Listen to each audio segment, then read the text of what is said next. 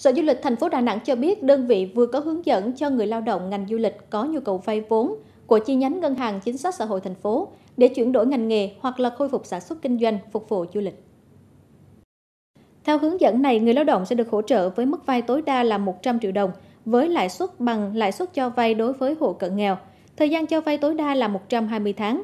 Các mức vay và thời hạn vay cụ thể sẽ được Ngân hàng Chính sách Xã hội xem xét căn cứ vào nguồn vốn, chu kỳ sản xuất kinh doanh, khả năng trả nợ của người vay vốn để thỏa thuận với người vay. Người vay vốn phải sử dụng vốn vay đúng mục đích, mức cho vay và thời hạn phù hợp với mục đích vay.